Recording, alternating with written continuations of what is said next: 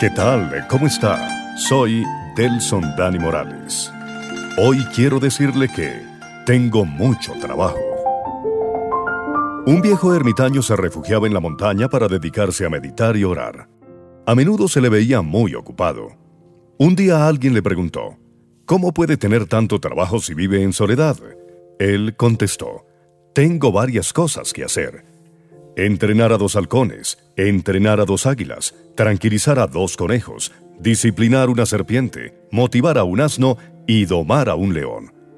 No veo ningún animal por aquí. ¿Dónde están? El ermitaño le respondió, Estos animales los llevamos todos dentro. Los dos halcones se lanzan sobre todo lo que se les presenta, bueno o malo.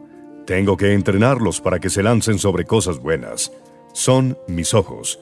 Las dos águilas, con sus garras hieren y destrozan, tengo que entrenarlas para que se pongan al servicio y ayuden sin hacer daño.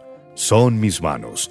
Los conejos quieren ir a donde ellos quieran, quieren esquivar las situaciones difíciles. Tengo que enseñarles a estar tranquilos aunque haya sufrimiento, problema o cualquier cosa que no me gusta. Son mis pies. Lo más difícil es vigilar la serpiente. Está encerrada en una fuerte jaula pero ella siempre está lista para atacar, morder y colocar su veneno en cualquiera que esté cerca. Por ello tengo que disciplinarla. Es mi lengua. El burro es obstinado, no quiere cumplir con su deber, siempre está cansado y se niega a llevar su carga cada día. Es mi cuerpo. Por último, necesito domar al león. Quiere ser el rey, es altivo y siempre quiere ser el primero. Es vanidoso, es orgulloso, se cree el mejor. Es mi ego. Como ve, tengo demasiado trabajo por hacer. La Biblia enseña en Romanos 6, 12 y 13. Por lo tanto, no permitan ustedes que el pecado reine en su cuerpo mortal, ni obedezcan a sus malos deseos.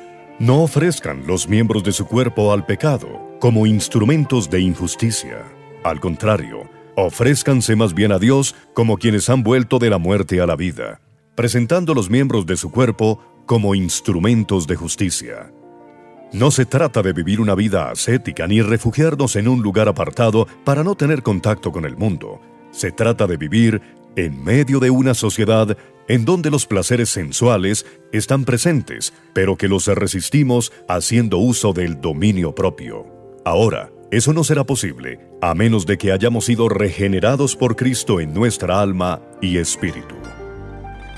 Edifíquese con las enseñanzas de la Biblia. Escuchen Nuevo Continente, 1460 AM en Bogotá y en internet nuevocontinente.org. WhatsApp 311-830-4162.